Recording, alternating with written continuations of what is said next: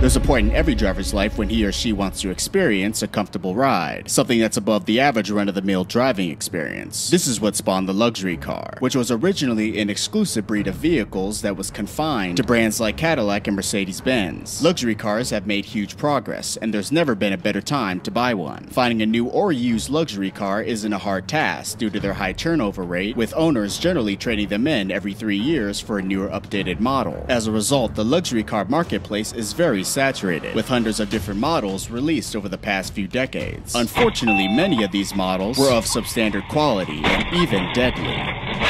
There are many luxury models that you should avoid at all costs due to safety, quality, and reliability issues. One way to shorten your list of options is to understand which luxury cars to avoid. Luckily for you, you clicked on this video, because today you're going to learn about the deadliest luxury cars of all time.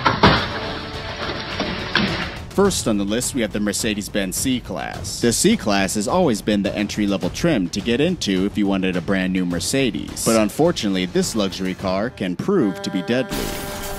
The Mercedes-Benz C-Class was given a score poor in its small overlap frontal crash test. Neither the side curtain nor the side torso airbags deployed in the test, and the dummy's foot was stuck beneath the brake pedal. It performed so poorly that the pedal had to be cut off to free the foot. The crash test also found that the seatbelt allowed for too much forward movement, with the driver's head at risk of hitting the A-pillar, which is the vertical support near the driver's seat. And to top it all off, the C-Class isn't the most reliable car either. The main gripe with this luxury car is transmission failure, as well as unexplained overheating resulting in engine fires, and repair costs can rack up quickly, making the C-Class a mistake of epic proportions. Up next, we have the BMW 3 Series. The BMW 3 Series has always been a reasonable way to get into a BMW for the first time, and while the car is an excellent budget performer, this is one of the most deadly luxury cars that you can get.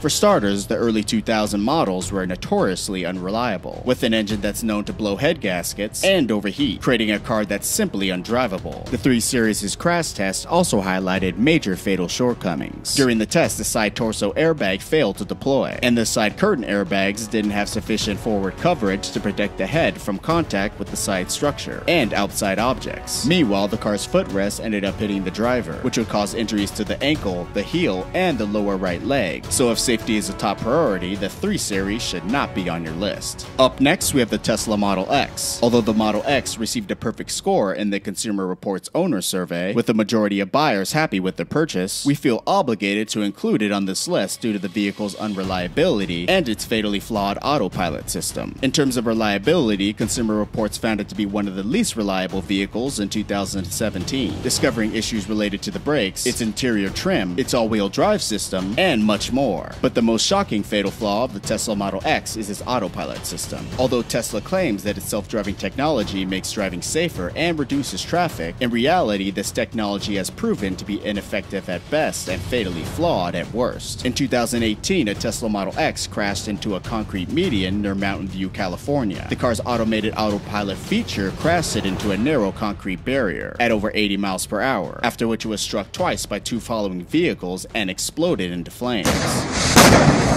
Another Tesla Model X autopilot crash happened in January of 2018 when a Tesla slammed into a parked fire truck. Tesla's response was that autopilot is intended for use only with a fully attentive driver. So to sum it all up, the Tesla Model X may be fast and it may have some road presence, but there's nothing luxurious about a service bay or crashing due to faulty autopilot technology. Up next, we have the Mercedes-Benz GL. The Mercedes-Benz GL was first launched in 2006 to compete in the luxury SUV segment, though many observers felt it was a little late to the party. Some of the most common problems with the Mercedes-Benz GL include rough shifting, brake and rotor failure, and oil leakage coming from the vent housing. Another hot problem with the GL is that the car's seat warmers can smoke and even catch fire. According to CarComplaints.com, one owner claims that they turned on the seat warmer while driving. In a very short amount of time, there was a strong burning smell and thick smoke. They felt intense heat on their back and realized the source was the seat itself. And within minutes, a cloud of smoke filled the car. Up next, we have the BMW X5. The X5 is a mid-sized luxury SUV from BMW that was produced since 1999. According to BMW, the X5 is more tailored as a sports activity vehicle rather than an SUV. The most common problem reported is the air suspension, which can cost around $3,000 to fix. You're also likely to experience problems with the thermostat, the water pump, front universal joint failure, fuel pump leakage, and airbag ruptures. Valve cover gasket leaks as well as a loss of power steering due to leaking hoses are also common. BMW did a better job with the 3 Series, but failed to impress with the X5. Up next, we have the Maserati Ghibli. Named after a Japanese animation studio or a Liberian desert wind, the Ghibli is Maserati's latest mistake. Various automotive outlets have named it the worst luxury car of all time, and it's not that hard to see why. Compared to any other luxury cars in its class, the Ghibli has terrible fuel economy, a cramped cabin despite being a mid-sized sedan, and interior styling that is extremely outdated. The Italian sedan's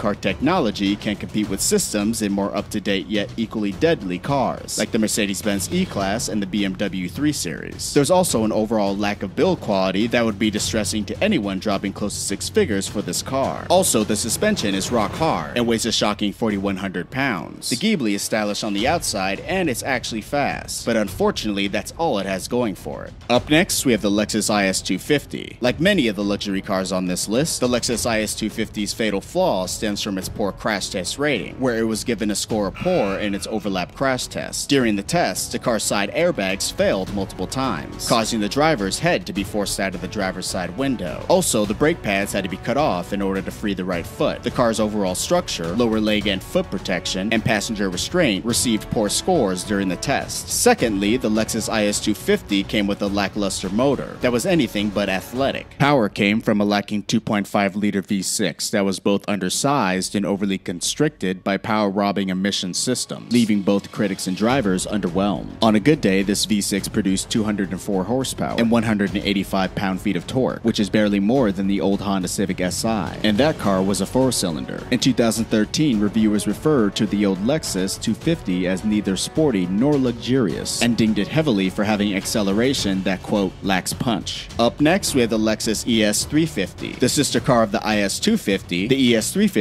proves to be equally fatal. For starters, the car's pre-collision system has a habit of failing. In certain driving situations, this system could interpret a steel road joint or a steel plate in the road surface as an obstacle causing the system to activate. When this critical malfunction occurred, the vehicle's brakes were applied automatically. Brake assist mode was activated, the front seatbelts were tightened, and the driver would hear a loud blaring warning buzzer, all of which increased the likelihood of a fatal accident tenfold. And again, like the Lexus IS250, the Lexus ES350 performed terribly in its crash test. During the test, the dummy's head barely made contact with the front airbag, with the head sliding off to the left side. Meanwhile, the steering column moved significantly to the right and up, diminishing protection to the chest in a high-impact collision. Neither the side curtain airbag nor the side torso airbag deployed in the crash test. It was also noted that injuries to the left knee and left lower leg, ankle, and heel would be very likely in a crash of this severity. Up next, we have the Lincoln MKZ. The Lincoln MKZ takes every consistent theme from this list and balls them up into one seriously revolting product. Ugly? Check. Out of date? You bet. Bad in-car technology? Obviously. Deadly? Definitely. The 3.5-liter EcoBoost V6 and the dated 6-speed automatic transmission make it a truly sad luxury car, but it can also be very deadly, as it scored a poor rating during its frontal crash test, in which the dummy's head and chest completely missed the frontal airbags, while the side curtain airbags didn't provide sufficient forward coverage for the head. As a result, spending $44,000 on this luxury car would be a very poor decision. Up next, we have the Range Rover. Unreliability plus expensive parts and labor rates are not a good combination, but that's what you get when you buy a Range Rover. The Range Rover is one of the UK's most iconic vehicles, though people seem to have a love and hate relationship with it. One thing is for certain, people don't buy this thing because of its reliability. The first generation Range Rover wasn't designed to be a luxury vehicle. It was a basic SUV with a functional interior design. The new generation model sharply contrasts this. In terms of reliability, there have been numerous complaints over the years. Problems can range from a timing belt pulley requiring an entirely new engine costing around $6,000, transmissions that seize without warning costing you around $3,000, head gasket failures that can run from a rebuild to a full engine replacement, issues with brake rotor and pad wear, and the list goes on. Up next, we have the Mercedes-Benz CLA. The CLA earns its place on this list for a slew of unfortunate reasons. Despite its luxury name tag, this car offers one rough ride, one you would expect from a car half the price. And it also has a cramped interior, with little in the way of head or leg room. Cargo space is also an issue, since it's limited to a maximum of 41.8 cubic feet. The standard four-cylinder engine has more than enough power, but the automatic transmission ruins it with a very lackluster performance. Well guys, those are the deadliest luxury cars of all time. If you guys like this video, give it a thumbs up. Also, if you'd like what you see at the channel, subscribe and put post notifications on. I'm Jeff from Modern Muscle, and I'll see ya next time.